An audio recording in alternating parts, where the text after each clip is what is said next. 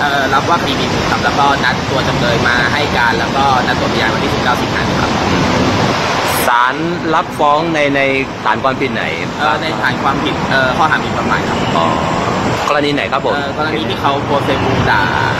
ด่าในโซเชียลมีเดียทางเพจทางเพจของนางครับว่าว่าลูกค้าผมคือคุณอีฟเนี่ยเป็นงูเหลือมเกาะเสกอะไรทำให้ลูกค้าผมเสียหายครับเห ตุเหตุเกิดเมื่อปีไหนคเอรับอเหตุเกิดนี่ประมาณต้นปีครับเออตั้งแต่มกราตรงช่วงมกราครับปีสองปีสองห้าหกสองเนี่ยแล้วก็หลังจากที่ฟ้องเสร็จเนี่ยทางเราเนี่ยได้ขอ